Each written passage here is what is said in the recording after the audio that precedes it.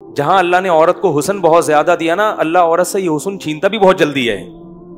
मर्द बहुत देर से बुढ़े होते हैं औरतें बहुत जल्दी बूढ़ी हो जाती हैं। मर्द तो 40 साल में तो पता चलता है कि आदमी बना है ये। ये तो मुशाहिद एक, एक मेडिकल साइंस की एक हकीकत है और मुशाहिदा भी है। 40 साल में जब आदमी कदम रखता है ना तो कुरान कहता है हत्ता इदा बलगा शुद्ध यहाँ तक कि अपनी भरपूर ताकत को पहुँचता है। तो 40 साल में तो मर्द आदमी बनता है और ज़ोर पैदा होता है उसकी आवाज़ में उसकी चाल में। बहुत टाइम से जाके बूढ़ा होता है और लड़कियाँ जल्दी उन पर बुढ़ापा आता है। उनका हुस्न जमाल बहुत जल्दी खत्म होता है। ये कुदरत का एक उसूल है, इसको आप चेंज नहीं कर सकते। तो अब उसमें तो औरत को और ज़्यादा ख्याल करना है कि भाई जल्दी अपने आप को ठिकाने लगाओ, जल्दी अपने आप को किसी घर का फर्द बनाओ, किसी खानदान का फर्द बनाओ।